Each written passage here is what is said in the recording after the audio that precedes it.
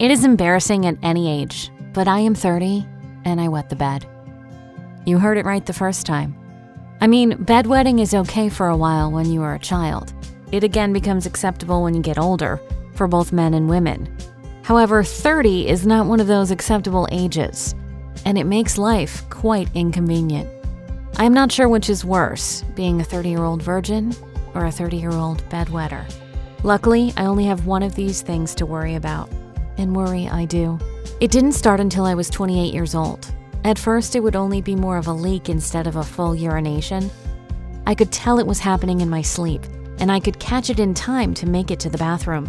As time went on, the leak got larger, and I could no longer make it to the bathroom before peeing down my leg and ruining yet another pair of pajamas. Not long after that, I wasn't even waking up soon enough to attempt to make it to the bathroom. I would just wake up knowing that I would be in a full blown puddle of piss. It was just depressing. What made matters even worse was that I was in a new relationship when this started to happen. It used to be an occasional occurrence, so dating wasn't so bad.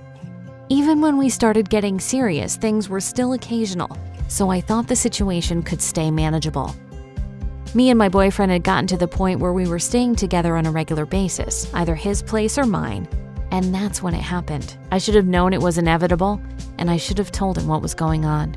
However, this was really my first serious relationship, and I loved him so much that I did not have the nerve to tell him.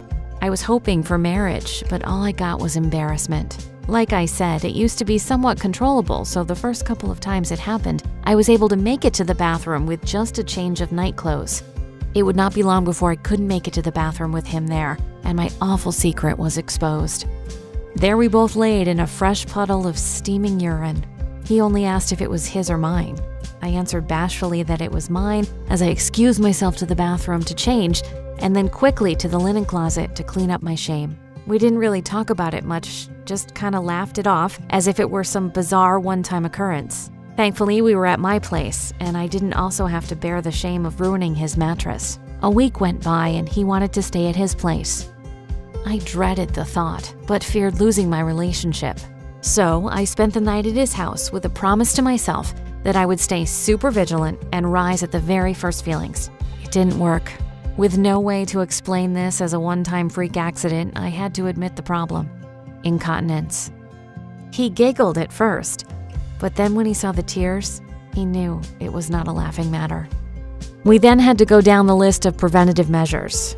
If it was not embarrassing enough, I know I had to have an awkward conversation with him about whether I was drinking water too close to bedtime or needed to strengthen my pelvic floor.